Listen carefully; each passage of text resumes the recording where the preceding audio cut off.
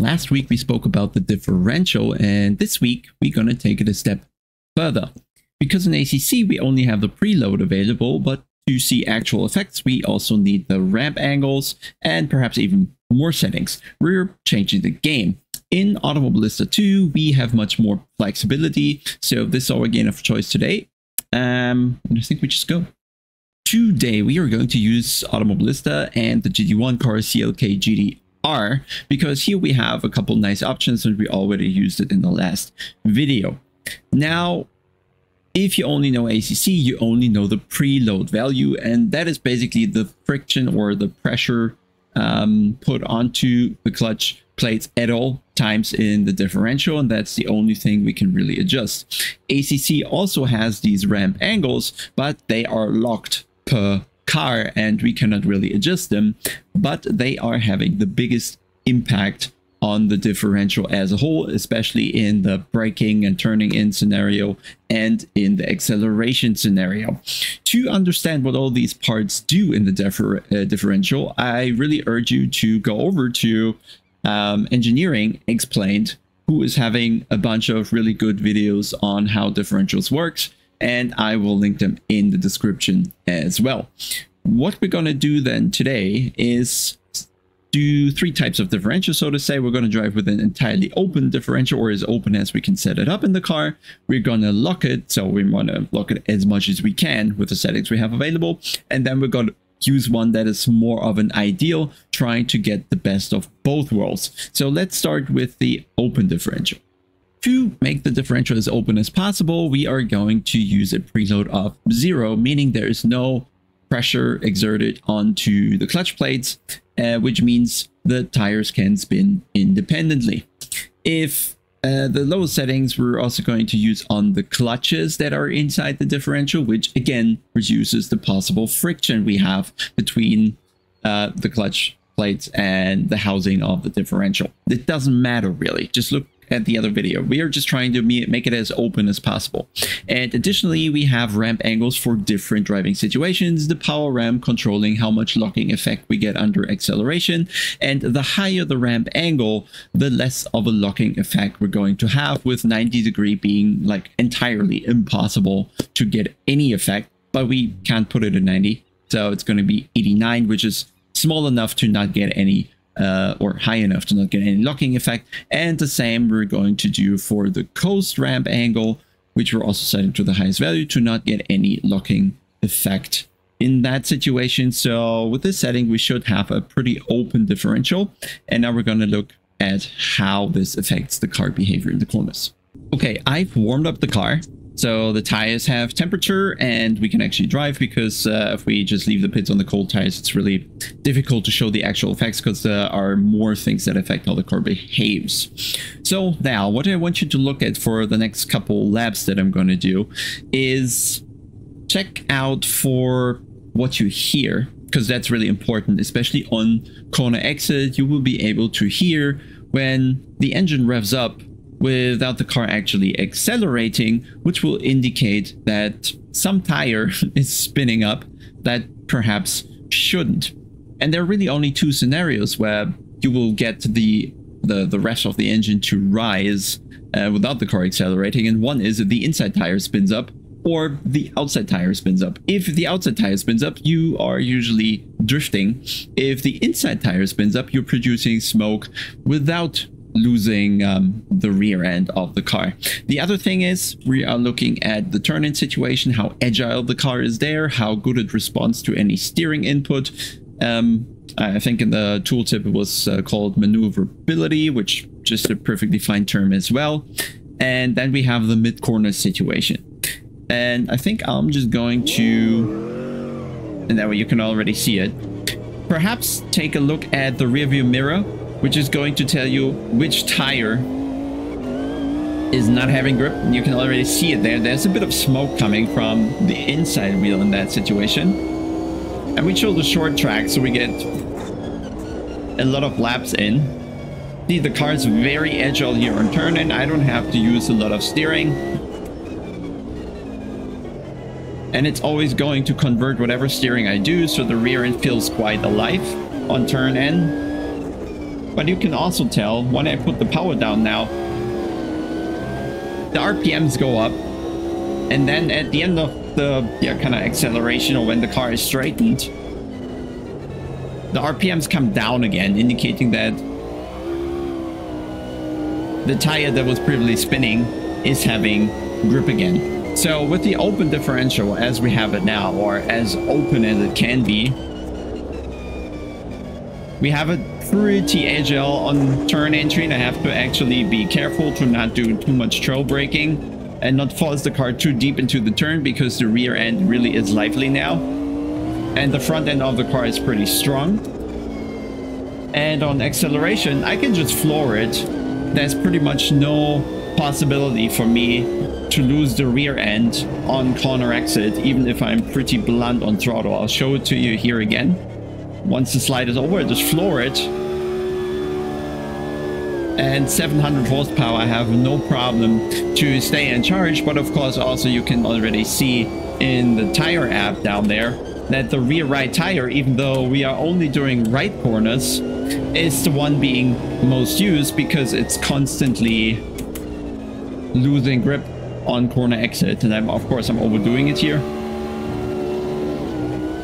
but you can see the the rear tire is wearing wearing pretty fast. It has a lot of temperature and already now I can feel the impact of the inside tire there wearing much faster than the rest of the other tires and you can you can almost see the tire wear increasing there.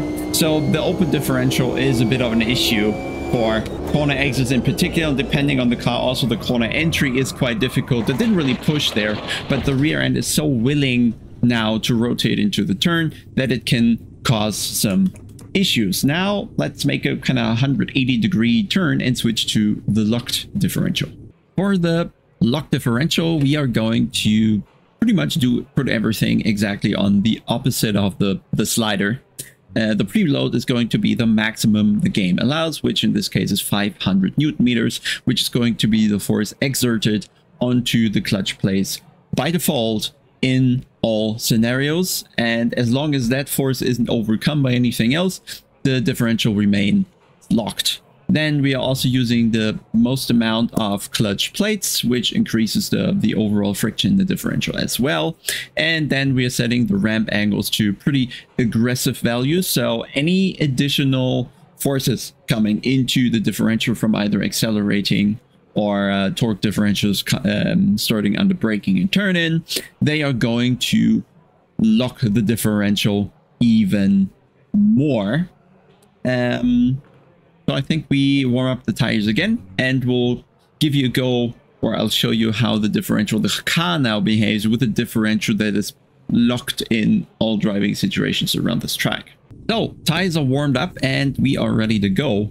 Now I want to basically to do the same thing. Listen to the engine and compare to how the car behaves. So we, again, looking at the situations on corner entry, where the car should now be much more stable, less willing to convert all the steering inputs that I'm doing to the car. So we'll probably see the car less responsive, not really will willing to go for the turn. And only once we reduce the speed, the car is actually going to steer and follow the front tires.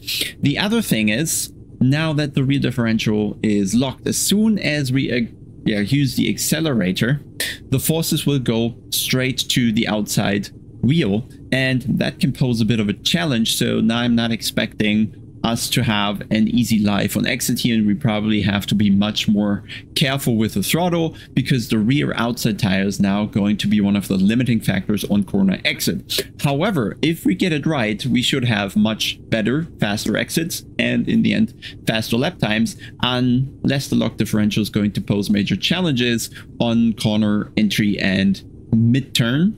So I think I'll just uh, go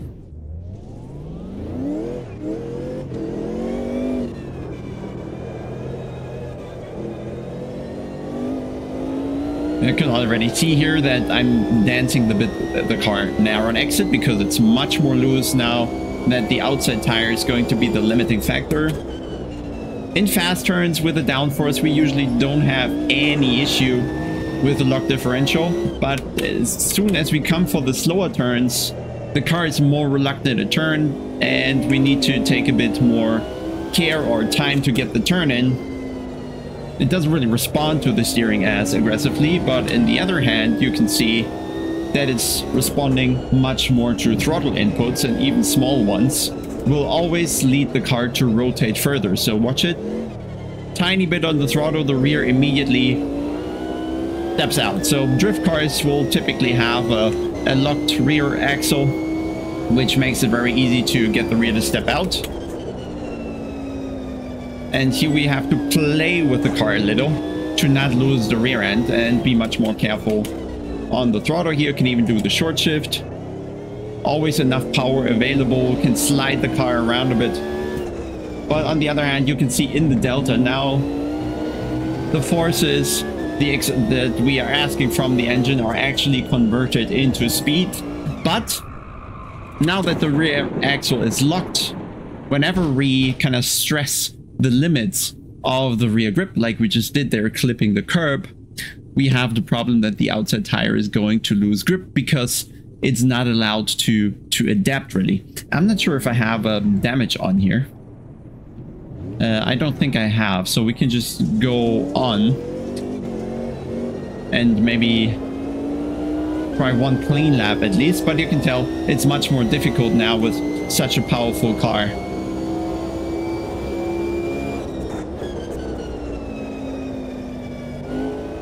Immediately the rear steps out, we get nice rotation on exit.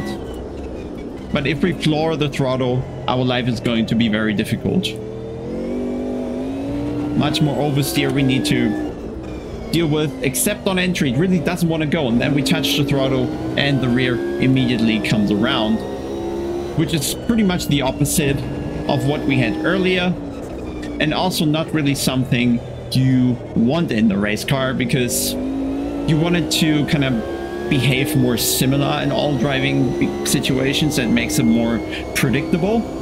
And that in the end is why we are having the limited slip differentials where we can control separately what the car is doing on corner entries and what the car is doing on corner exits. Because here we just have, yeah, kind of we have the advantage of good acceleration from the turn if we are careful enough with the throttle and no energy, so to say, is wasted like in the open differential, but it is a lot more sensitive to drive and it's really reluctant to do anything into the turn and it's very tricky on corner exit, giving us a hard time really pushing the car around here. So next step, I guess, we are going to do a run in the limited slip differential. So now we are going to use something that is kind of in between. We're going to use some preload, so we'll always have some locking effect in the differential. We're going to use a lower amount, but still not the lowest amount of clutch plates, again, increasing the minimal amount of friction we are going to have in the differential. And we are going to use a power ramp that is definitely more on the locking side of things. And we're going to use a coast ramp that is more on the open differential side of things, right? So a higher power ramp angle means more locking effect. A lower ramp angle means less locking effect. So we get some of the freedom we want from the open differential on corner entry, even though not as much as the fully open differential. And we want some locking effect on corner exit even though not as aggressive of a locking effect we just had with the fully locked differential. So let's see how this behaves. I'll again warm up the tires a little and then we should be able to see a few differences. Okay tires are warmed up a little bit so we can go for a comparison run. The previous lap times were 42 1 or something. And now what we're going to do is have a look at, again, corner entry behavior of the car, corner exit behavior of the car. And what we have is a differential that is going to be largely locked on corner exit and only occasionally allowing some of the energy kind of escaping through the inside wheel, which should make the car more stable as the outside tire is not overwhelmed too much. But at the same time, we want the car to be nimble into the corners and responsive so we are trying to find the in-between of, well, the situations we had before. Where with the open differential we had no traction on exit, lost all the energy to kind of smoke, um, but on entry it was a bit too sensitive at times. Then with a lock differential we had the problem that the car was, well, also very sensitive on corner exit, but at least it had traction if we were able to manage the throttle.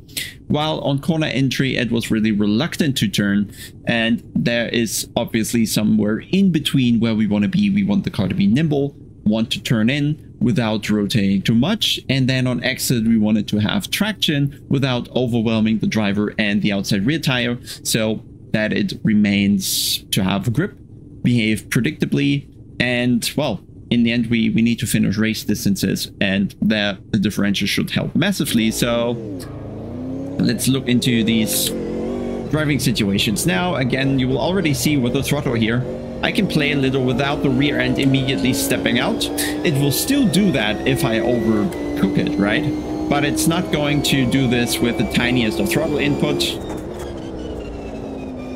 Into the turn, we get good placement of the car and through the entire corner. There was no need to, to counter steer there, which we had earlier when we went into the power here it's responding to my steering input, not too aggressively, not too sharply, but it's definitely also not going straight. Can touch the curb here, no issue. Was an issue before with the lock differential and now onto the throttle. Nice smooth slide. You can hear a bit the inside tire just about losing grip there, which is good because it stabilized the car and exit. And just the first lap here, while talking, not really focusing a lot doing a, well, sub 42 time. And of course, spending more time with this, getting more on top of the car. We could go even faster now that the car behaves better in all driving situations. It's much more comfortable immediately to push the car around here and go for the turns because now I know there's going to be less surprises and there's another 3 tenths shaved up. I'll try one more lab, but perhaps the I think we have the soft slick on. That might already be over its peak here, or there's still green delta left. Only trouble here is into this corner, really from locking the rear tires and the braking. But not intimidated at all on corner exit if I use too much power, the inside tire is always kind of spinning up a little more. And preventing the outside tire from losing grip. You can see it here. It's sometimes still a bit too open, but at least it's confidence inspiring. We don't have to worry about losing the rear end. And another difference you can see is in the tire temperatures compared to the open differential. We now have the outside rear tire being the warmest and the inside rear tire being a little colder, whereas with the open differential, it was actually the other way around because the inside tire was constantly spinning up. I hope these examples were able to show you a bit how the differential works and maybe you feel better now when you're experimenting with these setup options and especially with the differential you can have huge impact on how comfortable you feel in the car by just making it more predictable and more tolerant in different driving situations.